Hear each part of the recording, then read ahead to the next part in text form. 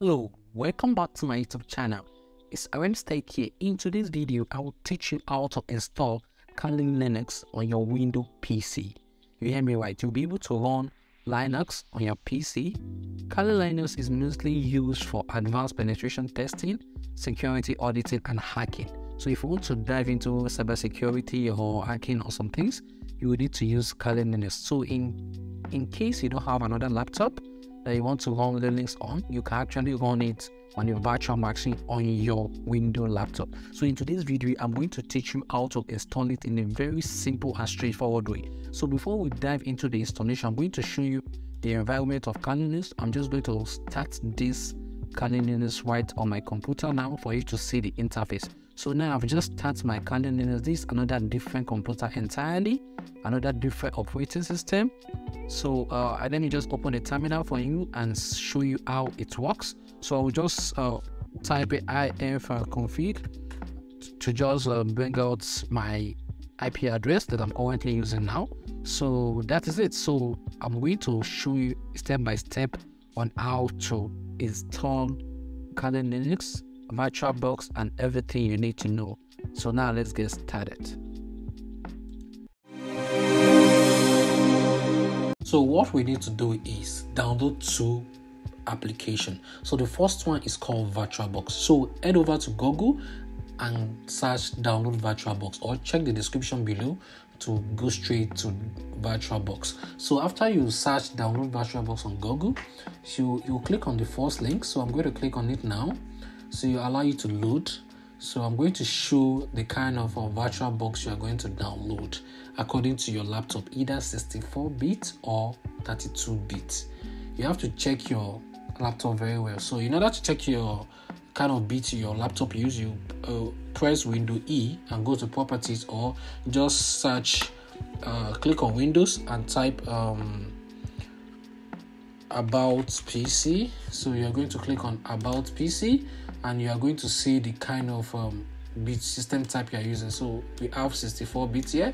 So after that the next thing you have to do is download the particular virtualbox so what you have to do is just download the main software.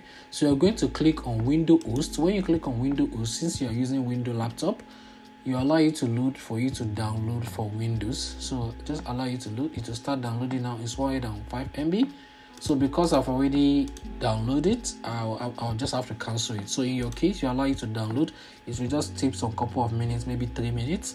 So after that the next thing you need to do is go to Google and search download Kali Linux.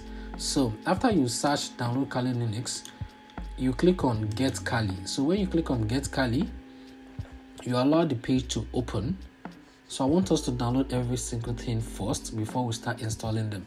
So what you're going to do is there are two type of platform you're going to download. So we will recommend virtual machine. For virtual machine you just click on virtual machine and it's going to scroll down to it. So if you're using 64 bit you click on 64 bit. If you're using 32 bit you click on 32 bit. So now we're using 64 bit laptop. So you click on virtual machine. So you click on virtual machine you can either click on this to start downloading instantly or you click on torrent. But i'll just advise you click on this. To start downloading instantly. So i'll just click on it. It's 2.6 gig. And this might take you like 10 minutes depending on your kind of network. So i'm going to cancel it now because i've already downloaded before so now by the time you need to pause this video and download it completely so that you can follow up with the tutorial. So let's assume we have not downloaded every single thing. So the first thing you need to do is click on virtual machine and install it. The installation does not have any specific setting. All you just have to do is um, double click on virtual machine and install it on your computer. So after installing it what you have to do is search virtual machine on your computer. So you see oracle vm virtual machine. So click on open so allow it to open so you can see now i currently don't uh, there's a new update but i'll just close it i currently don't have any virtual machine inside my virtual box So in order for you to install Kali Linux, so remember we have download our Kali Linux which is 2.6 gig. So what we have to do is go over here and click on add. So when you click on add, you're going to your download. So I have it in download. So I'll just you just click on Kali Linux. So in my case, I'll just search Kali Linux. So it's definitely going to bring it out. Kali. So by the time I search Kali, it will come. So this is mine, 64 bits. I'll click on it.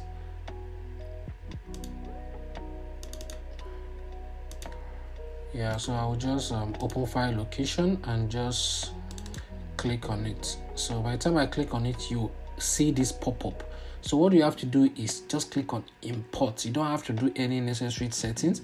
Just make sure all these are here and click on import. So when you click on import, you click on agree in the next message box. So when you click on agree, you allow the installation to finish. The installation normally takes about 5 to 10 minutes and depend on your kind of laptop. But in my kind of laptop here it may take about 4 minutes because i'm using the 8 gig ram laptop. So we're just going to wait for some minutes for it to fully complete.